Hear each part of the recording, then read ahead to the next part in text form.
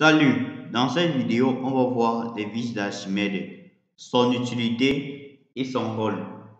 Vous pourrez apprendre plusieurs trucs sur la production de l'énergie électrique avec des micro-industries. Pour cela, je vais prendre l'exemple d'une vidéo qui explique très bien le rôle des vis d'Archimède.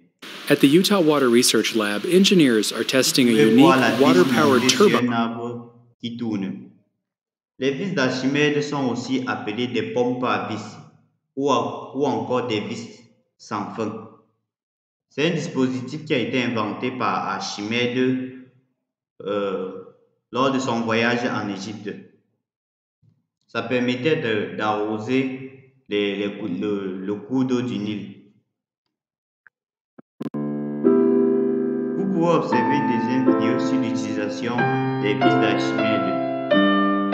C'est un projet euh, qui peut me tenir à cœur. Peut-être à l'avenir, je réaliserai de tels systèmes pour produire de l'électricité à bas coût.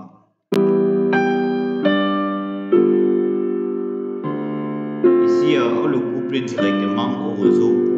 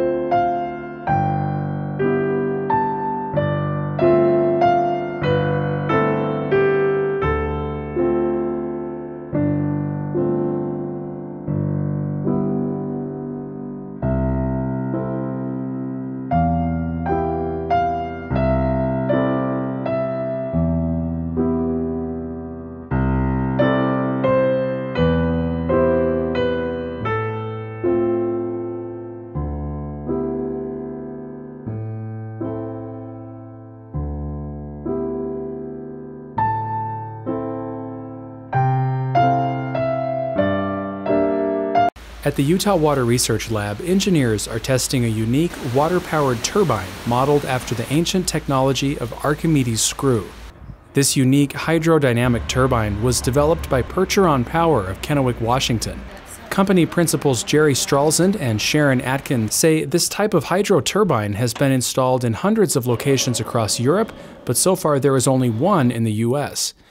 The system was installed in a custom test rig inside the hydraulics modeling lab, where lead engineer Dr. Michael Johnson and a team of engineers, technicians, and students spent the next few weeks performing tests.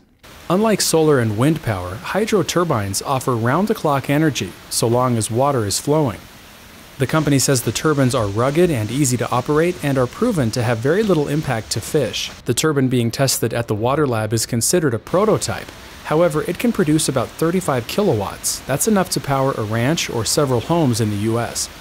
Larger turbines of the same design can be more than double the diameter and length of the prototype and produce more than 350 kilowatts.